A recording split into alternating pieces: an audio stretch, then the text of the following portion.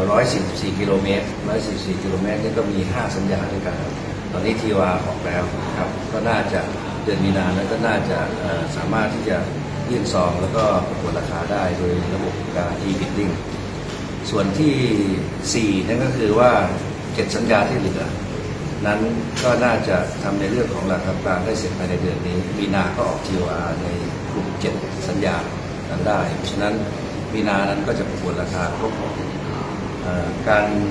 พิจารณานั้นก็น่าจะเสร็จประมาณเดือนเมษาเมษาพฤษภานั้นก็น่าจะลงนามเป็นสัญญาได้หมดครบทั้งหมดในระยะที่หนึ่งนะครับในเรื่องของการก่อสร้างนะครับ ส่วนในเรื่องของสัญญา 2.3 นั้นก็มีกำหนดที่จะต้องไปเจรจาต่อเพราะว่ามันมันมีรายละเอียดค่อนข้างเยอะนะครับ อันนี้ก็ก็คงต้องพูดคุยกันต่อนะครับ เพราะว่ามีเรื่องของ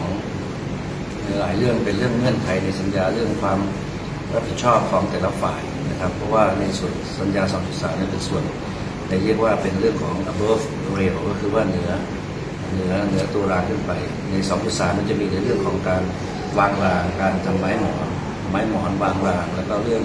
เสาสัญญา ระบบฐานะสัญญา แล้วก็ตัวรถด้วยนะครับรวมทั้งในเรื่องของการดูแลรักษานะครับซึ่งอันนี้ก็ยังมีรายละเอียดที่ต้องเจรจาในเรื่องเรื่องเงื่อนไขนะครับ ก็คิดว่า จะพยายามให้จบภายในการประชุม J4 27นี้นะครับวันมาวันที่เท่าไหร่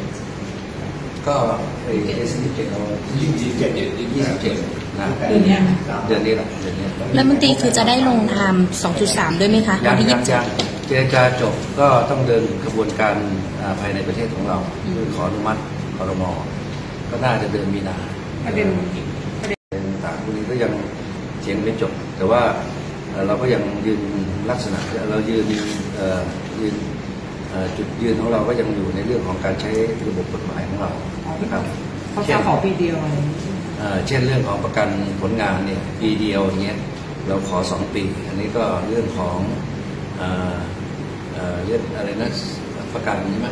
สุดท้ายประกันทุกอย่างเอ่อประกันสัญญานั้นก็ ก็ยังคุยกันเรื่องเปอร์เซ็นต์อยู่เขาขอเรียกว่าต่ำมากซึ่งเราให้ไม่ได้ที่ขอเท่าไหร่นะจีนเขาขอจุดศูนย์ศูนย์ศูนย์หนึ่งจุดศูนย์ศูนย์ศูนย์หนึ่งกฎหมายเราไม่ได้ถ้าเราตกลงได้